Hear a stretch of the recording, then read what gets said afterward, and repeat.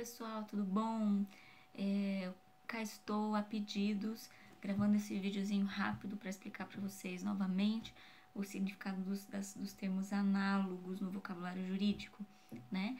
Então, nós vimos que os termos análogos, eles são diferentes dos termos sinônimos.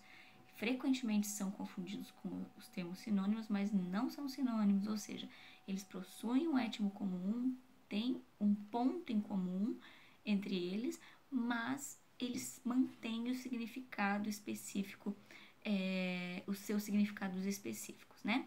Eles têm, eles possuem sentidos diferentes, mas eles possuem sentidos que se conectam em algum ponto comum.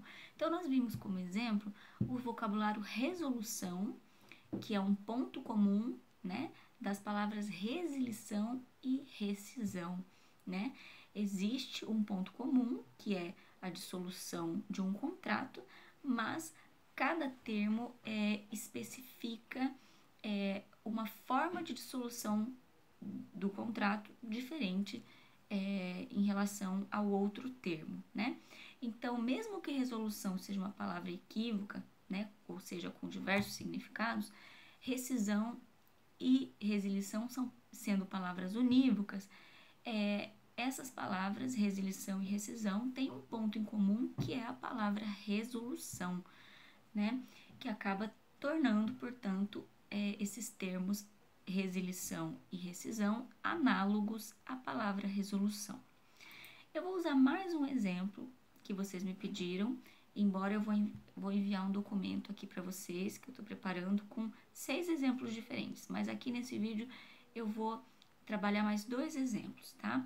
Por exemplo, a palavra roubo e furto, embora elas sejam unívocas, e nós vimos isso porque cada uma tem um significado específico, elas são análogas à palavra crimes, né, contra o patrimônio. Então, nós temos duas palavras que são unívocas, mas elas são análogas a uma terceira palavra que é um ponto comum que as une, né, embora cada uma mantenha o seu significado específico.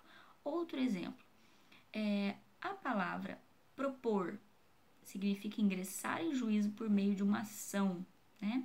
A palavra interpor significa ingressar em juízo por meio de recurso a ser julgado por um tribunal.